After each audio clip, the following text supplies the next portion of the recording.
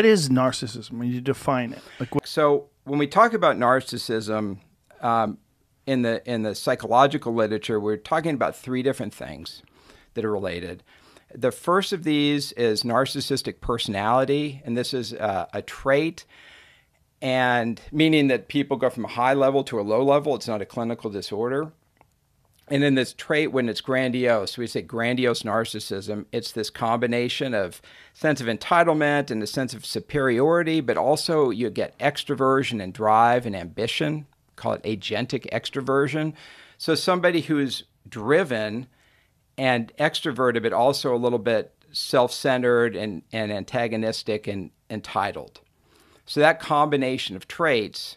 Um, there's another form of narcissism which we don't talk about as much in the normal world, but that's vulnerable narcissism. And these are the folks that are kind of think they're really important, think they should be getting a lot of attention, think they're the smartest people in the room, but no one really looks at them, no one pays attention to them.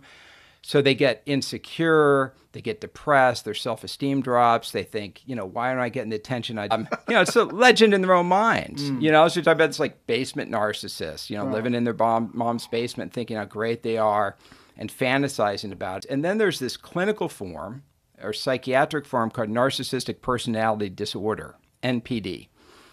And that personality form of nar- personality disorder form of narcissism is an extreme form of narcissism. You have a high level of it, you know, like Trump or you know a lot of probably celebrities or you know academics. Um, but you also, to make it a clinical disorder, you have to have that impairment we're talking about. So it has to be clinically significant impairment, and that's usually the narcissism is so bad, your your marriage or your relationships are falling apart your work life could be falling apart. So sometimes you find narcissistic, uh, really successful people in, in offices who are narcissists, but they, they kind of destroy the office culture. They're, they're just bad workers.